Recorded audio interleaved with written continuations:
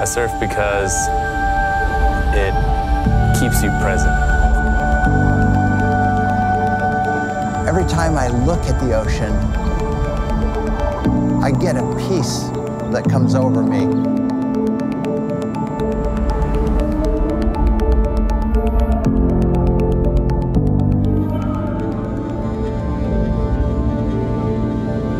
Our original vision for this project was to travel the world, document some beautiful surfing and chase barrels.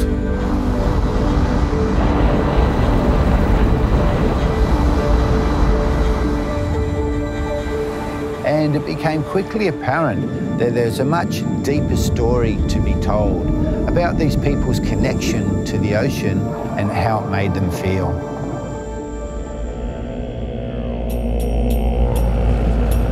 There's only so much you can prepare for, you know, when it's like, it's on, it's on, and you're just kind of like, I still get butterflies.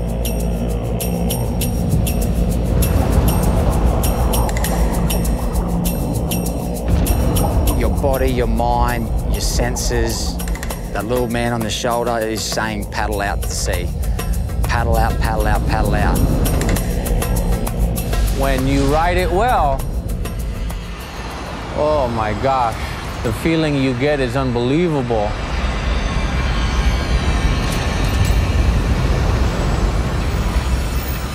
But when you make a mistake, you get punished badly.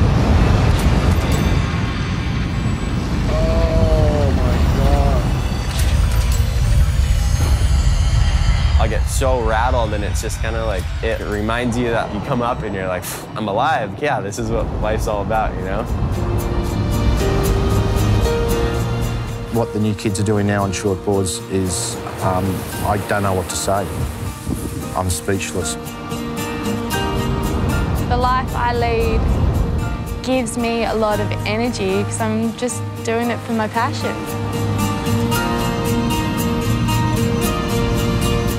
So healthy, you know, being in the water. They reckon that that metre above and below the water's got something special.